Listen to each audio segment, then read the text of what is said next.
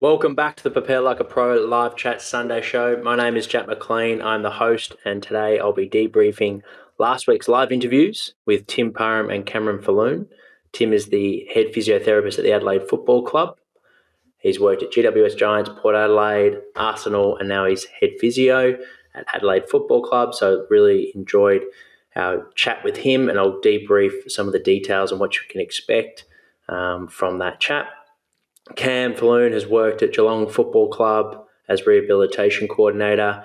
He then managed the Western Bulldogs program and then worked at uh, Port Adelaide Football Club as the physical performance manager as well.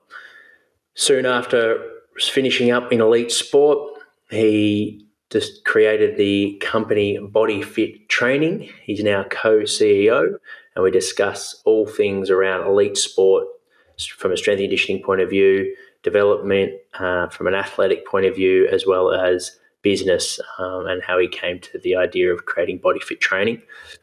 So, both great chats, and highly recommend if you missed the live uh, episodes to watch them on our YouTube channel, uh, Prepare Like a Pro, where you can watch the whole episode and recording. We'll post the podcast recording shortly, um, some point in December, and definitely we'll let you know on our Instagram on the exact date of that launch. We also have two new interviews coming up for this week. We have Matt Matthew McGregor, who I was lucky enough to work with at the Hawthorn Football Club. He's a sports psychologist, um, and he was the sports psych at Hawthorn. He's just recently finished up. He's working at the AFL Player Association as a sports psych, uh, and currently doing his own business as well. So looking forward to catching up with Matt on Tuesday. They'll be at 8.30 p.m. And um, we'll be discussing all things around his life story, his career, um, and why he has a strong passion for mental health and, and also um, mental preparation from a performance point of view. And then we're catching up with Rebecca Alcock, uh, who's just recently finished up at the Melbourne Football Club, where she was performance dietitian, uh, obviously the premiers. So really looking forward to um, her work that she did at Melbourne. She's also completed a PhD in nutrition, um, and she's now back working in research and um, doing a little bit of work in the clinic as well privately. So really looking forward to catching up with Beck. That'll be at Thursday at 8.30 p.m. for those that want to tune in live. Both All our live chats are on uh, YouTube, so you can catch us there and um, well, you can watch the whole live chat as well as engage in our live chats. We like to keep them authentic and dynamic so the um, fans can get involved, listeners can get involved and send through your questions, and um, I'll make sure I fit them in. In terms of the upcoming uh, podcast episodes, we have uh, Michael Rischitelli, who played for the Gold Coast Suns and Brisbane Lions. That will be released on Tuesday. Our Get Better Plan um, episode will be on Wednesday, um, and that will be revolved around recovery. And then Tim Schmidt is our Thursday, uh, Friday, sorry, podcast. So he created Kicking Dynamics. He also also is a former Sydney um, player, Sydney Swans player. So really looking forward to catching it, um, listening into Tim's podcast episode. Both Tim and Michael were great episodes for developing footballers that want to um, work on their craft, work on their uh, ability to develop as a as a footballer. Maybe you have dreams to be an AFL player, or you just simply want to play at the highest level. Both these guys have done it. Both are working now with athletes um, from a professional point of view. Michael in helping athletes transition from a um, professional sportsman to the work life, and Tim with kicking technique and biomechanics. So um, make sure to tune into those ones. Whether you're a businessman looking to start a business, you'll get something out of it, as and more specifically for the athletes that are tuned in and, and keen to work on your game, you'll definitely get a lot out of both those guys' uh, life stories. We have um, the power tip for this week is uh, for those coaches out there that are creating an online business. I recently presented at the ASCA conference and uh, it was around a topic that I'm really passionate about, which is why strength and conditioning coaches should create your own job keeper. I, um, yeah, I've created a presentation that's specifically around um, marketing and sales, and as well as the importance of um, your operations. So breaking those three big rocks down for the, from a business point of view. So for those that do have a small business or, are a company that you've just started, um, there's some hopefully some takeaways, some things that have helped me. And I've had a steep learning curve. Um, I was all new to social media as of two years ago, and it's something now that I'm um, is being an online business, prepare like a pro. It's something that we're um, working on uh, and have a consistent schedule that works for us and is quite effective. And a lot of the presentation is about um, the mistakes I made early days, focused so much on the social media side of things rather than searchable content. And I break down the importance of why searchable content is critical for your business in, in being seen, basically, um, with potential new prospects for people that want to work with you um, or for people that just want to read your content. Um, the searchable content is is key. And when we're thinking searchable content compared to social, it's simply thinking around blog posts, so writing articles that uh, has keywords in it specific to your niche. Um, so you rank on Google. You're having um, you might have some YouTube uh, videos, uh, short shorts, or either just some longer version uh, videos. So they're great for um, integrating with your Google. So you might add a video relevant to your blog post to make it even more um, optimized. And then uh, a podcast is also another great way. So audio content and video content. Um, and then you might have a description or a, um, a written description from the podcast. And that's a, a great way. So all three of those types, forms of content are searchable and they're basically looking after the future of the business. So at any point from now, tomorrow, a week's time, month's time, five years' time, people will still be able to search for those um, for that content that you've created, and therefore it's looking after the future of your business. It's giving back um, for as long as your business is essentially um, alive and as long as that content is um, still published. Whereas with social media, TikTok, Instagram, Facebook, um, these things aren't integrated with Google. And as soon as you post it, it, will be seen for a couple of hours and then it's pretty much old news. So it's it's it, it is important. It definitely has relevance, and you, you're probably going to use social media to promote your blog post, your podcast, and your new YouTube episode. But it doesn't give back like searchable content does. Then you know the next day, it's not like people are going to search for it and it's going to pop up in their feed uh, on Google or Yahoo or any of the search engine um, so that's that's where you want to start to shift. That's something that I've sort of worked out the last sort of six months, and, and definitely have noticed um, great results with doing that, uh, and have found I've been able to help more people, whether it be from a training point of view or just simply through an education point of view, because they're able to find our content uh, through Google. So I hope that helps for the online coaches. In terms of uh, blog posts, on that note, we have recently just published a blog post why footballers should work with a strength and conditioning coach and not a personal trainer. Um, this is something that he, I've been both a personal trainer, that's where I started, and then I'm now a strength and conditioning coach. And there is a big difference uh, for athletes. And, and the main reasons are around knowing the sport. So, a strength and conditioning coach will have a good understanding on how to break down the sport and the demands of the sport from a, a you know volume point of view. So if it's running based, um, they're able to see what type of running typically that player will will do. Are they more of a speed dynamic player? Are they more um, a hard running player? So preparing them to play um, their best version of their game and be able to prepare themselves from a physical resilience point of view. So they're limiting their risk of soft tissue injuries, um, but also from a performance point of view, so they're feeling fitness is not going to let them down on game day. Um, and then from a strength and condition, strength and power point of view, being able to see the way they play, what's important for their role within the team, and um, what are some key performance indicators that we want to try and focus on in the gym. Uh, is really, really important. And, and, there'll be some exercises that you'll select from a general point of view, but also some specific ones potentially um, that will be good for that player from a medical point of view, maybe because they've had some previous injuries, um, or it might be from more from a sport specific point of view. But in, in general, as a personal trainer, in my experience being a personal trainer, most of the qualifications are around your um, general preparation. So, reducing your body fat, increasing your lean muscle mass.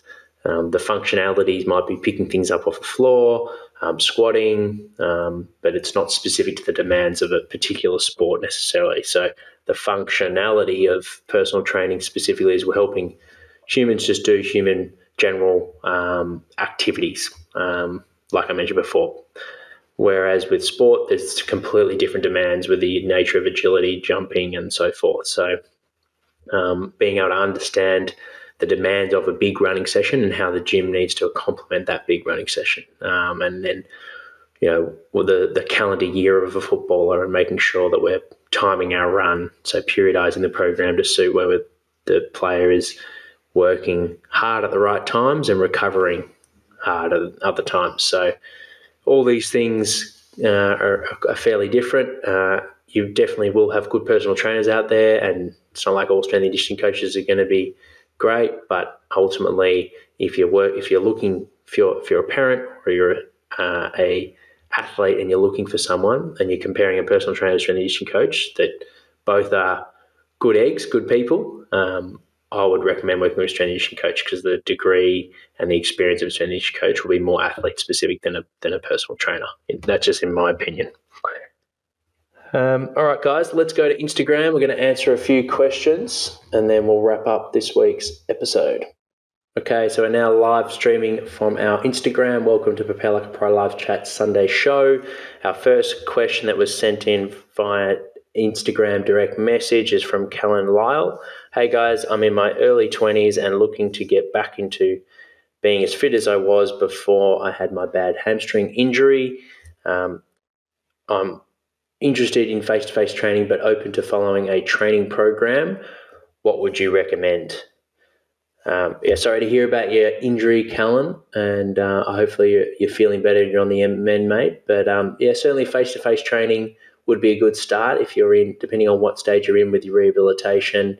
Uh, it can be quite handy to uh, be face to face with someone so you can they can screen you. Particularly a physio will be an expert in this area to be able to get a good diagnosis um, to make sure that it definitely is a hamstring injury. Um, potentially, you've already been diagnosed um, and you already know that, but you want to make sure the severity is right, the grade of injury is, is accurate, and then from there, you'll have a protocol that that physio would put in place. A strength and conditioning coach would typically get more involved and start to control more of the rehabilitation once you've returned to running and you're starting to get back to the um, compound movements in the gym. Um, so you might, if it's a typical hamstring, four weeks long, you may spend the first couple of weeks um, typically with a physio for the most part, and then two weeks with the strength and conditioning coach. In terms of our programs, we've got an individualized coaching package that I would recommend um, because you get a coaching session once a month with that program. And we've actually got a physiotherapist as part of our coaching team, Nilesh Murdy, who um, has great experience working at GWS Giants for a number of years in the rehabilitation space. So he's strong with his physio skills, but also has a good understanding of strength and conditioning uh, principles. So he would probably be the main guy I would recommend in this circumstance. Uh, and the way the individualized coaching package works is you, you see Nilesh once a month, but also there's back and forth communication throughout the whole process. So you can text messaging, messaging the TeamBuildr app, uh, have a call um, throughout the whole process, and that way you've got someone in your corner that you can trust and you know understands the game and, and has had plenty of experience uh, helping footballers return to play from hamstring injury. In terms of your fitness goal, um, yeah, you're still young, mate, so you're definitely going to bounce back and get back to that peak shape of, like you mentioned, when you're 18, 19. Um, so that won't be a problem at all in terms of our training programs, like online, like you mentioned, that you're open to, once you've fully rehabilitated that hamstring, and that might take four to sort of six weeks where you're feeling like you're back to where you were. Um, that's certainly if you feel like the you, the individualized program, you want to move more to the online program, then we've got our online strength and program, and that would be suited to you. So it doesn't involve rehab, the online program. You'd have to be on an individualized coaching package. But once you're fully fit and able, then the online program would be a good fit from more performance point of view. So getting you strong power and getting your fitness back. Great question, Callan, though. Feel free to reach out if you have any more questions, mate. The next question is from Will Pearson. He says, I'm 16 and play as an on baller. My training goal is to become more powerful through my lower and upper body. What exercises should I be doing in the gym? Yeah, great question, Will. And this is quite a common one um, that we get. Uh, power is a really, really important aspect of the game, um, particularly for your first three steps and your ability to be able to create space, both from a strength in the contest point of view, like the fend off, the Dusty Martin, uh, or just simply your speed and agility being able to break away. So, uh, exercises that we want to try and do, we want to try and make sure we're lift with good technique. We want to lift heavy at least once a week with your lower and upper body. So, I think a box squat, a deadlift, trap bar deadlift, a bench press would be some good examples. Weighted chin ups would be another example. So, where you're working on your maximum strength, how much force you can produce. And then we want to try and work on your power. Um, so, think moving light objects fast. So, that might be your body weight, like a box jump, broad jump, or it could be like a uh, medicine ball, um, a, a, bench press, Smith machine throws. Um, so we're really focusing on the velocity of the movement rather than the weight. Um, and ultimately, as the stronger you get, uh, you'll be able to lift relative to your strength. You'll be able to lift higher weights. Um, so at the start, let's say you can bench press 100 kilos, your power training might be around 50 kilos because you can move that. Research shows around one meters per second is good for a power stimulus. So that's 50 kilos, but obviously as your strength goes up, 120 kilos, you're now doing power training at 60 kilos. Um, so it's all relative to your strength levels, but making sure you understand um, the, the bang for buck exercises are your squat, your deadlift, bench press, and, and chin ups. Um, that would be the main exercises I would focus on. Don't get too fancy with it. Um, and then in terms of your, your power as well, because you mentioned that lower lower body power, making sure you're doing acceleration work, um, your first three steps. So make sure your first three steps, you've got that intent to move as fast as possible. You're doing sprinting training, so you're moving at above 90% of your max velocity at least once a week. And that would be really, really important from a speed point of view. So if you get the strength covered, heavy lifting, you do the power stuff, move light things fast in the gym, and then you do your speed and acceleration workout on the field, you'll be in a really good place, mate. Hopefully that helps. Will Gary Ferraro has written, "How do you become a prepare like a pro ambassador?" Uh, so that's something where we hand select players that are in their draft year. Um, and they've made the All Australian squad. So we'll have typically one in each state. So, like Nick Daicos was doing some training with me in Melbourne. Um, we had Josh Fahey from New South Wales, uh, Jacob Van Rooyen, um, Perth, and then Cooper Murley in Adelaide, and then Austin Harris in Brisbane. So, once those guys are drafted, and then we'll be reaching out. And once the All Australian squad is selected for the 2022, we'll be selecting a new bunch of athletes. And basically, the ambassador program is something that we do where we service the athletes for their draft year for free and help them out in any way that we can um, to make sure that they're physically in great shape for the combine and they're well prepared for their draft year in terms of game performance. And our last question is from Sarah Phillips How important is it to recover? What should I be doing as a footballer? Recovery is paramount, and this is a great time in the off season pre season. Um, we're in late November to experiment. Um, it's also a transition stage for a lot of footballers going from off season now to returning to your club. Um, so that change in load uh, is a good time to focus on recovery because your, your body's absorbing now the increase of kicking loads, increase of agility, the change of direction work. So your quads and your groins are doing a lot, a lot more work. Um, potentially, if you haven't been doing much sprint training, you might be getting exposed to some higher speeds as well. Um, so, and potentially higher volumes as well if you haven't been doing a big off-season running program. So, um, to allow your body to absorb that new training stress, we want to make sure we're focusing time on recovery. Now, Olympic athletes will typically do the amount of work they do in the gym and on the field working out, they'll equal with working in their recovery. So if think one to one. So if you've spent an hour working out, um, improving your physical capacity, then you want to try and find an hour of working in. That's quite extreme. So that's for the top end for the pros. Um, if you can try and get to at least 25% of that to start with, that would be a great start. So if you think of how much, how many hours you're working out during the week, try and break that down and do a quarter. Start with a quarter of working in recovery, and that can be meditation, it can be ice bath, sauna, mobility, Pilates, yoga, uh, anything that you feel good after it mentally and physically. You feel better after the exercise that you did before. This is actually a subject I've just presented on with our athletes every Sunday. I catch up with them at 5 p.m. Um, then yeah, that that's a good sign that you're you, you're doing good recovery. And like I said before, it's very individual. So practice different methods, try different things, speak to athletes, see what works for them, try it on yourself. Uh, and if you feel better after it, um, then you're probably on a good thing. You can use objective data to help you measure how successful that session was. Uh, is contrast recovery more effective for you than just doing one form of um, temperature work? So, like going from an ice bath to a spa, opposed to just being in this in a sauna, for example. You could use heart rate variability um, to see your readiness scale before the recovery, and then test your heart rate variability after it, and hopefully it's higher. Uh, but how much higher would be one way that you can measure um, the effectiveness of that recovery method. Thank you, guys. Thanks for tuning into our live segment. And um, remember, we've got uh, two live episodes this week one with Matthew McGregor, the AFL Player Association sports psychologist, on Tuesday at 8.30 p.m and we have Rebecca Alcock at Thursday night at 8:30 p.m. who's just recently finished up at Melbourne Football Club and she's completed a PhD on nutrition. She's a sports dietitian. So to listen to those live chats, you must subscribe to our YouTube channel and you'll be notified. We've also got plenty of awesome performance-based exercises for those that are interested. Um, like Will's question was about improving your power. On our YouTube channel, we have a whole playlist of exercises dedicated to power training. Um, so head over to our YouTube channel, click the subscribe, and you'll be notified when we next go live. And then for the podcasts, we have Michael Rischitelli on Tuesday. We have our Get Better plan on Wednesday, and then we have Tim Schmidt on Friday. So massive week on the Prepare Like a Pro live chat show. Looking forward to it, and I'll see you guys on the next episode. Cheers.